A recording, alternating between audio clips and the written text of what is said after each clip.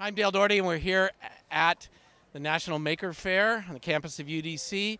And I have Kate Gage, who's an advisor to the U.S. Global Development Lab at USAID. Is that right? That is correct. All right, got it. Well, it's good to see you, Kate. We've seen you at a lot of Maker Faires, and and your your focus really is in, in, in well, at least one of your projects is looking at the maker movement in developing countries, and uh, and and really kind of almost a mixing back and forth between what's going on here in the U.S. and, and countries like Africa. So, I mean, just tell me a little bit about that.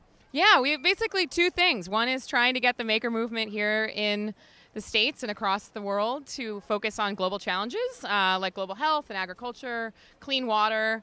Um, and the other one is to empower local makers in their communities to come up with solutions for uh, the problems they have in their own world. Um, so we look at in creating spaces, um, access to tools, um, and then also convening makers in the developing in in the um, in DC and across the United States to to solve uh, global problems. So a pretty good example of that was the Ebola challenge. It was. We brought, um, we threw a couple different uh, workshops with uh, engineers, makers, designers, and global health experts uh, to tackle issues like the protective equipment that the healthcare workers had to use across West Africa during the Ebola crisis uh, and various other issues. We ended up actually redesigning the protective equipment down from about 15 individual pieces to one piece of protective equipment that could be put on and off in less than five minutes. Now, I saw a talk by Jill Andrews the other day, who was one of the contributors there. She's fantastic. She's a wedding dress designer out of Baltimore. She went to the Johns Hopkins workshop that we helped support, and she looked at the problem and she said, I can make a wedding dress. I can help solve this problem. She joined the team. She was a key part of it, and they won the grand challenge that we put out there to fight Ebola.